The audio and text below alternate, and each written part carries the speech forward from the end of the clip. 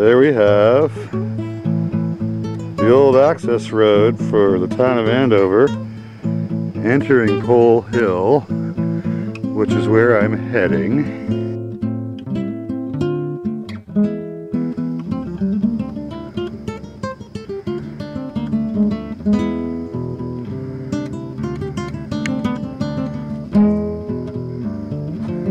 And this is the way down to the Conservation, Conservation Commission parcel, known as Pole Hill.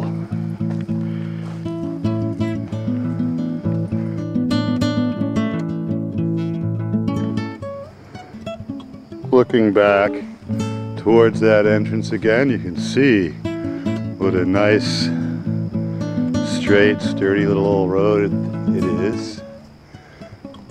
Here's a grand old oak wolf tree. Probably been here for a very long time.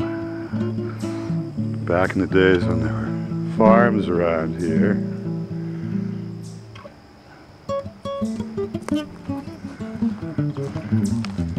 And we go over a little bit of a rise.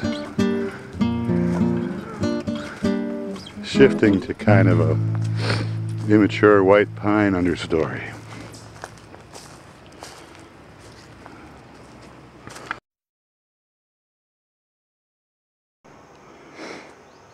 Here's where the trail from the end of Pole Hill Drive, presumably a spot to park. I don't drive cars, it's not my problem. But this is where it coincides and meets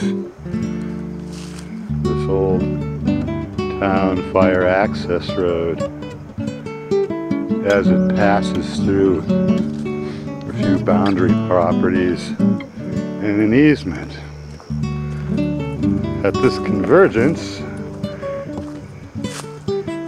we get the first announcement from the town of Andover that we are at conservation land with its cool little signs and its rules, which we've already gone over.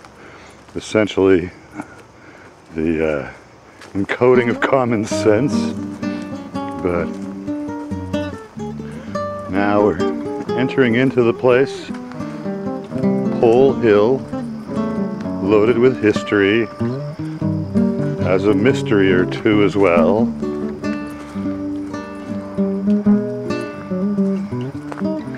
And this will become the fourth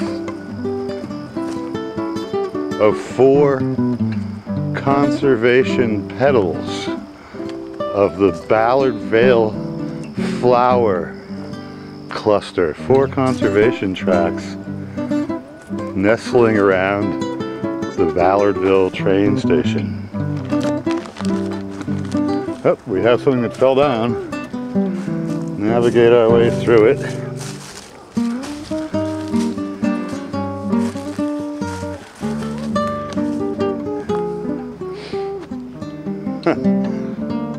Seems to be partly masking another trail too. Be that as it may, these little parcels are fairly self-explanatory.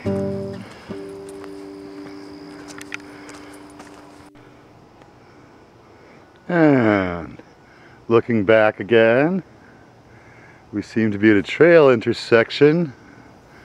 This heads off sort of westish. I came in on a kind of northish bearing, and now we're at a curve in the trail that seems to be aiming southeastish or east-southish.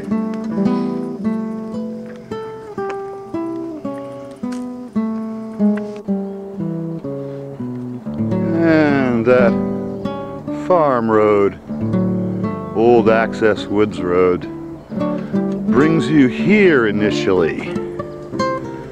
It's yet another of these wonderful little facilities that the Andover Conservation Commission in collaboration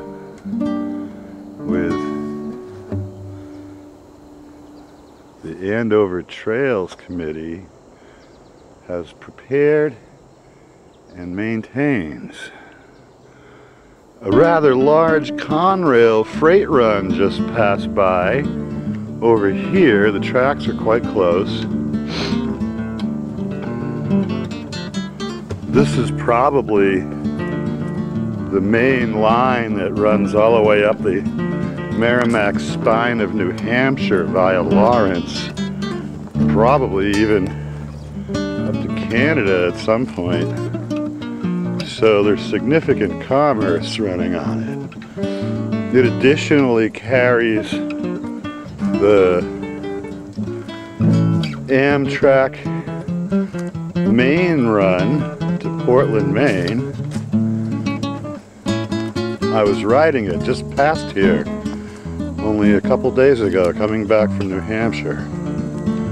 And then, of course, it also carries commuter rail runs up to Haverhill.